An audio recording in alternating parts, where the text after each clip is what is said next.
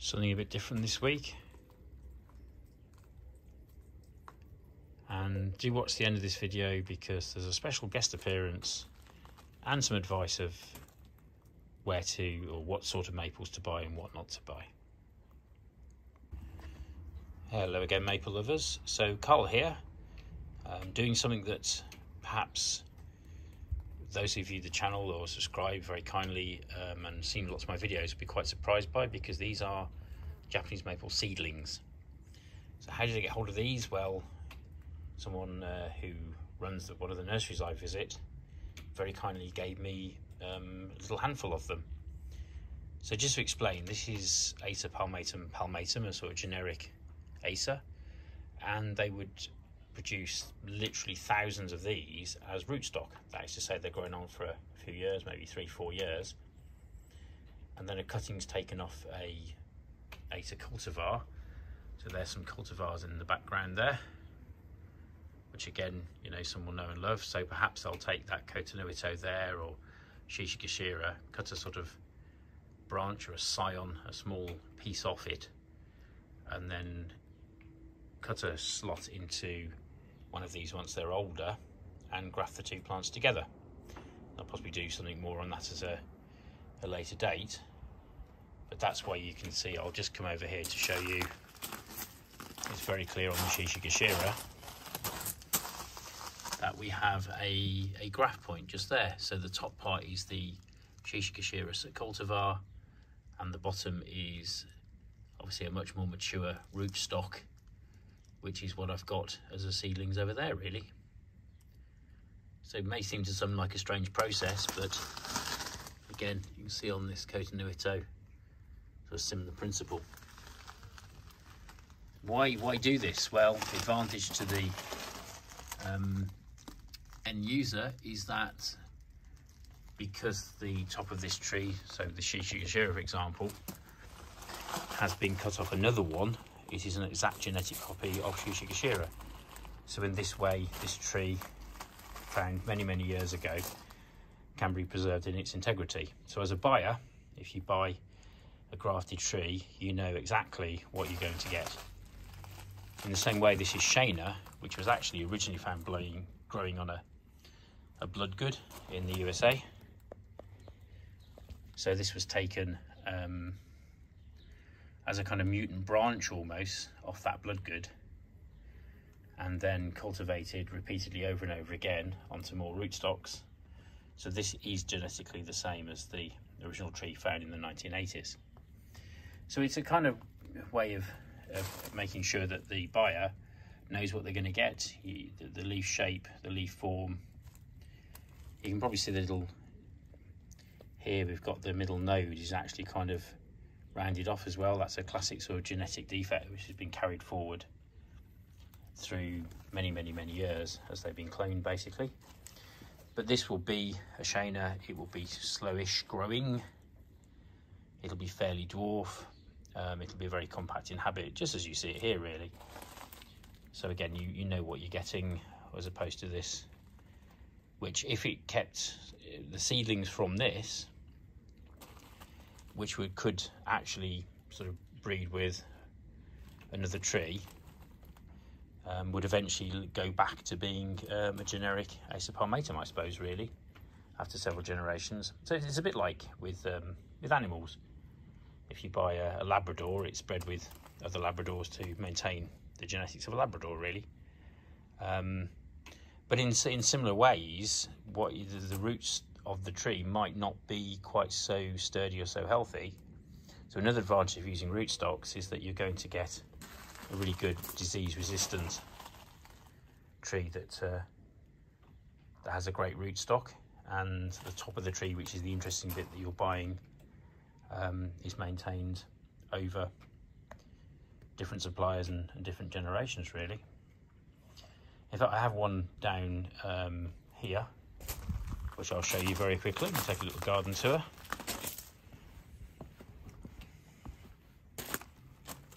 So this is Okushimo, which again has a very different look to it, a different style to it.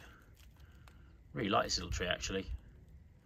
Hard to find, strangely, because it's been kicking around since about 1810 I think it was first recorded so sorry 1710 so it's 300 years old in terms of the cultivar that was originally found and this is one that they can trace back because it's been well documented. So the way they've done that obviously is again just taking the cuttings off the trees and then grafting it onto um, a really good rootstock.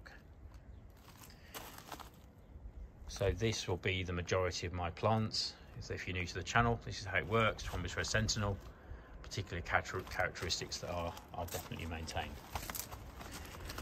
So back up here again just just looking again. These are not genetically the same. They are sort of crossbred the way that most things do really. Male and female sort of aspects to it. And we've got lots and lots of genetic variation. And let's be fair if there wasn't this genetic variation then the cultivars that we know and love would never have been accidentally formed in the first place. So bit of fun. Um, these are kind of cheapest strips to buy actually. Some, some places will sell you these very, very cheaply. Or in fact, you could gather seeds from trees that you find and germinate them and sort of create your own. The chances of finding a really good cultivar that's going to get taken on and is really fantastic though is, is pretty low. So Bartholomew's down in Dorset, where I buy quite a few of my plants. In all the time, I think 30, 40 years they've been in business, they found about 10 that are really interesting and worthwhile keeping. But again, they are the, the source of all the modern cultivars that we know and love. So what I'm going to do today is, I'm just going to have a play with these really. Um, I've got some sort of a few random pots.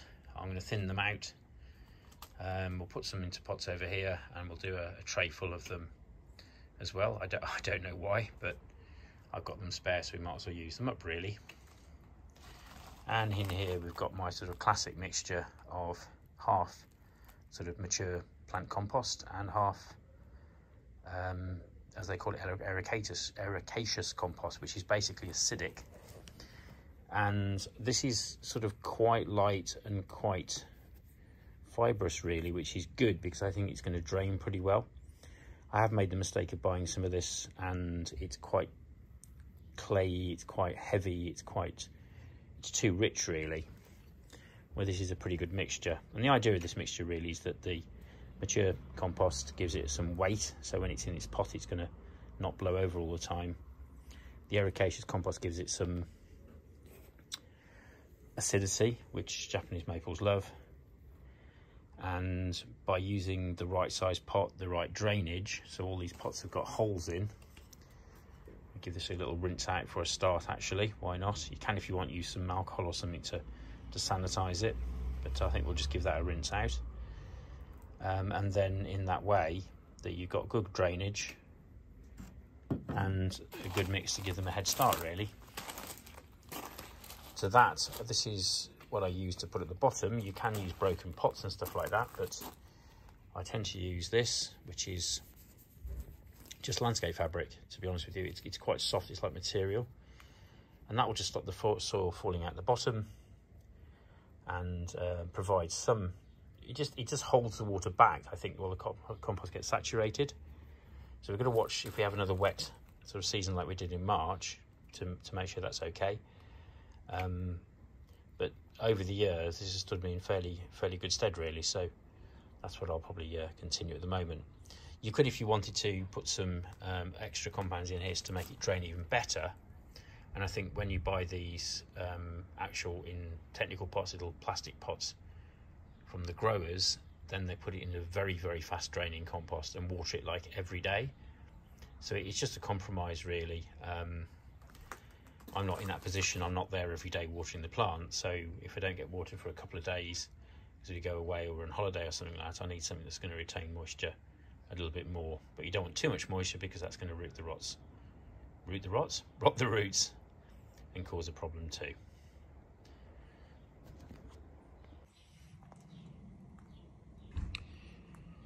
So what I'm doing here is I've just got this pot here um, with a few seedlings in Giving it a gentle tug, but there's a bit of resistance. So I've just been round a little bit with this bit of a stick or something, go around the edges and just loosen things up a little bit. What I don't want is to damage the roots too much, so it just seems sensible to me to um, just tease them out a, a touch really, and make loosen things up. And as you can see, we're just starting to sort of everything's starting to move really, which is good. So pot prepared here, giving it a little quick rinse out. And what we'll do, we'll half fill that with some compost mixture.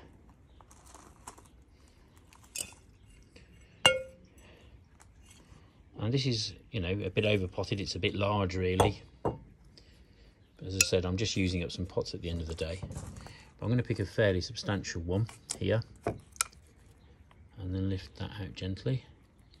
Little, little tweak and a shake. and easing it out. And that's got quite a decent uh, little bit of root on it actually. So not being too fussy we'll just locate that kind of in the middle. Um, I think actually what I'll do because we don't want to get the stem of the plant too wet and this is again I'm being honest this is an oversized pot really for this. So we'll just pop that to one side and just pretty much as I would with any other tree I suppose. Offer it a bit more compost firm it down a little bit not too much. And what we're aiming for is to have the sort of where the stem meets the root system about level with this the top of the this little ridge here in the top. So that's always a good marker with a pot because it just helps to we, we need a bit of space at the top to sort of get water in there to make that work really. So I just need to sort of pause the video there a little bit. Um, sadly I haven't got uh, three pairs of hands which would always be useful for this sort of thing. But there we can see uh, we've got the little fella in there. This, this is kind of new territory to me. I'm used to dealing with more mature older plants but here we go. It's all about experimentation, learning from experience. That's what the channel's about I suppose. So that's one down and uh, several more several more to go really. And it's always good to prepare plenty of compost to be honest with you because you know that can always go back in a bag. It's, it's mixed up now so I'll just use that as a mix for for more projects if I need to. And also noting that I think it's mid-July. I think I might should get away with this because this compost will definitely have nutrients in it and we're kind of uh, in a sense overfeeding them a little bit but Acers tend to go through a bit of a growth spurt at this time of year anyway, and then they, the compost to sort of get leached out or used up within about three months. So hopefully that'll be the situation before um, kind of September. And because they're little, I'm always in, in a position to kind of look after them a little bit. I could bring them inside the conservatory and give them some frost protection if necessary. So on that basis, we'll see how we uh, how we progress. So just continuing with this little exercise, I've actually, uh, the ones that I chose, and just to say that of the bundle I was given, this is probably two thirds of them or something like that. Um, there's one that didn't take at all, it was just ruined, there's no leaves on it, just a stick really, so that one's got discarded. But, you know, uh, of, for a freebie, this is, uh, this is working out quite well. So just carrying on down here, we've got this fella. I'm just showing you all I'm really doing is, is half filling the pot up, this little technical pot I am to have saved from somewhere else, and then just lay it straight on the top really, having teased out and as best I can. And then from there, we can just we can just get around with some compost really, and then stand him up. Probably easy to do with two hands but yeah that's working quite well. Um, I'm not going to firm this down too much. I mean, I'm not trying to sort of squish everything down excessively to, and compact it all. Far from it. I want it to drain sort of quite well. And also on top of that um, I'm kind of looking I won't put any mulch on the top. I'll, I'll, keep an eye on these and water them more often if necessary rather than trying to mulch them and keep the moisture in so much I think if we can give it sort of a, I think they've earned the right. They've survived. They're, they're doing okay. I think they've uh, earned a little bit of TLC now, really.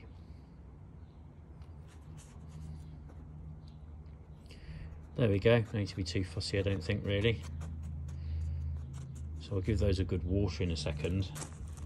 And I'll just continue and uh, put these three into this trough. Same principle, really. So there we are, that little task finished. Plenty of compost left over as well for, for the next project, which is always good. And here we are, a bit of an experiment, trying different pots, different pot sizes, three in a row, why not? Just a note though that um, you can see, and I've seen this in supermarkets or garden centres, very small trees that look ridiculously cheap and they'll profess to be Katsura or Orange Dream or, or some such name cultivar. In fact, they're not really. They're sort of related to that because they've they were collected from around about that tree, but they're not actually grafted. So it's a it's a bit of false advertising, really, and a bit naughty. Um, they may do very well. They they really could.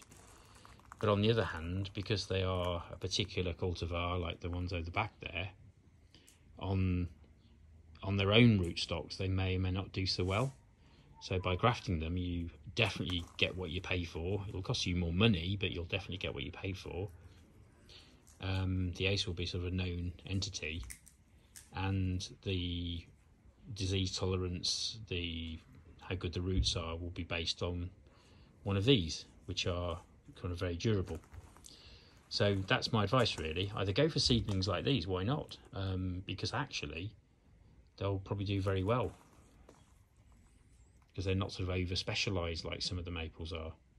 On the other hand, go for cultivars if you want certainty of what you're going to get. And here's Oscar. And he as you can see is a bit of a mixture. But he's very happy and very healthy healthy so just shows you.